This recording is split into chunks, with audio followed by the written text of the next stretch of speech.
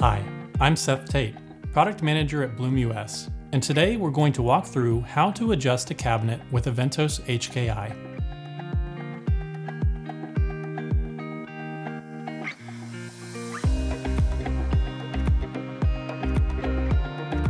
To make a height adjustment, turn this screw to raise and lower your door.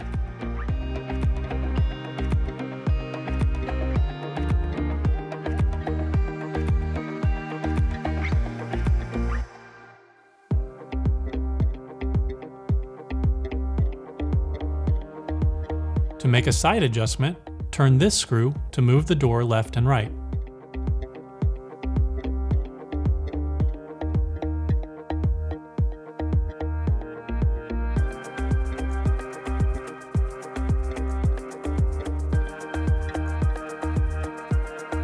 To make a depth adjustment, turn this screw to move the door closer or farther away from the cabinet.